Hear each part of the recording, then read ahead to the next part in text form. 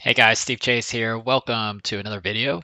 Uh, this video I'm going to share with you how to record payment methods inside QuickBooks Online and then understand how to run reports that can show how your customers are paying you. So for example, you might have wire payments, you might have credit card payments, PayPal payments, uh, checks, cash, and you might need to run a report that can reconcile the deposit details so let me share with you how you can do that using QuickBooks Online.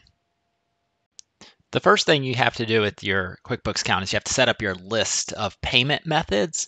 So this will be the standard cash and check, and then we'll be able to learn how to add more things like wire payments or perhaps PayPal. Once we get our list set up, we can run a few reports here. I'm going to share with you in a demo how to run three reports. There, there's plenty more, but the, these three will be a really good starting point for reconciling your payment methods. So one is called the deposit detail report. Another one is the sales by customer details. That's really good for sales receipts. And another one is the transaction list by date. Uh, so very important here is to, to understand the difference between what an invoice is and a sales receipt is. So the invoice uh, is different than a sales receipt. A sales receipt is going to have one full payment for the amount that's on the sales receipt, full payment recorded to the date of the sales receipt. So it is basically uh, full payment. There, there's never accounts receivable on sales receipts, where an invoice does create accounts receivable the moment it's been saved. And an invoice can have zero or more payments on it. And so sometimes it's confusing when you run a report and you want to see the payment method on an invoice. It doesn't work like that because you have to uh, run the payment method on the payments because it could be that t- there are three payments on one invoice to, to different phases, and so forth. So I'll share with you a demo on how to understand how to run a report and really see um, the payment methods on those on those invoices here. So I'm going to jump into my demo here. All right, and this is just a fake account here that I've got going here. so step one, uh, you're going to click on the, the gear icon and then select list under all list. And that's going to take us uh, to a, a place to see all of your list, including this payment methods option here. So when you click on that, you'll see all of your payment methods here. Imagine I wanted to add a new one. I can click new and I can type uh, wire, for, for example, and then hit save. All right, so now let's talk about how to run uh, reports.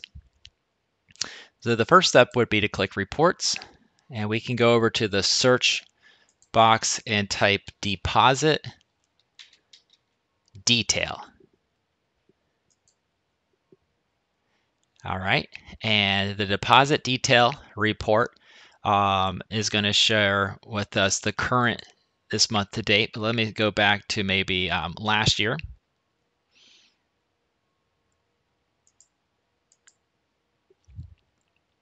All right, it's starting to show uh, what's been cleared here.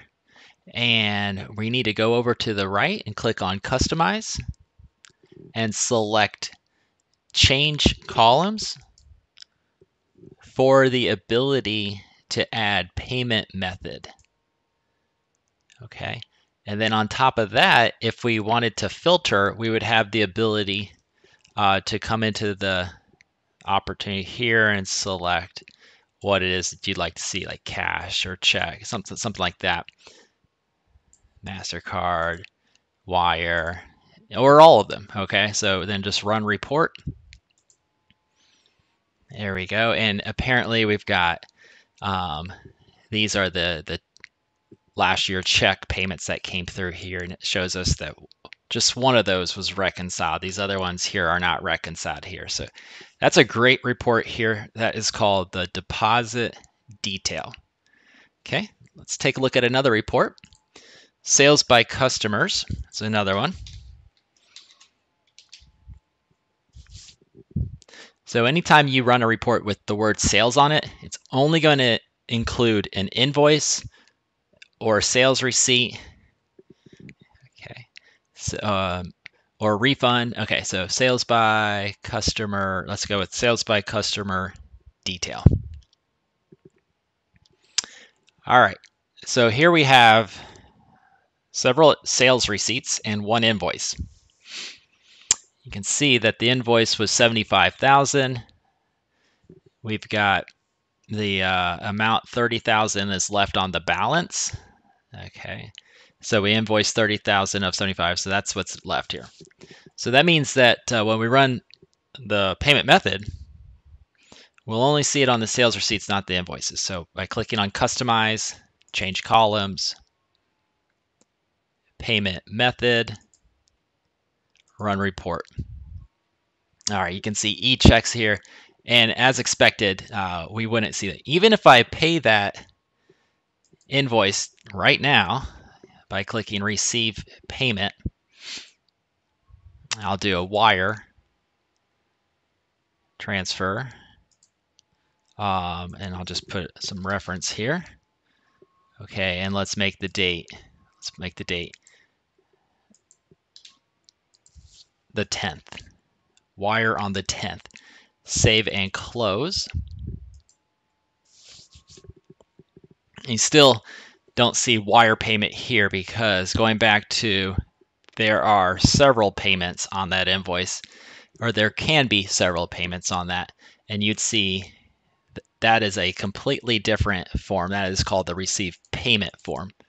Okay, so um, how do we how do we get a chance to to see that?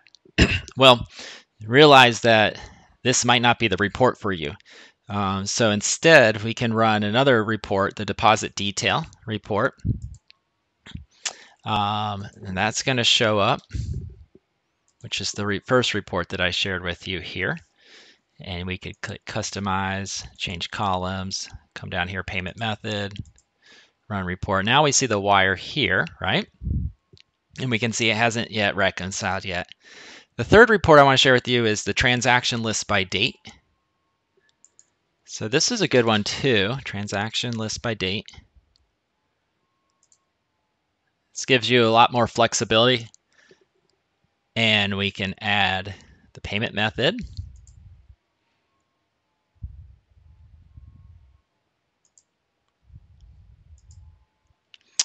So this will be both ways, money in and money out. Notice we've got some expenses. And so, so therefore, um, we could actually, if we wanted to, we could filter that to only show, if you have a lot of these, you could filter the transaction type because it would be, for example, we might just want to see payments only or sales receipts or and, I should say, and sales receipts maybe some refunds.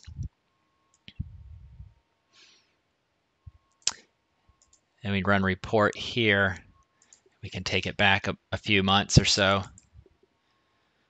And at this point here, you would you would get a chance to see all of these right here, okay? And so this payment right here, we don't have a payment method on here. Let's see why. Open it up.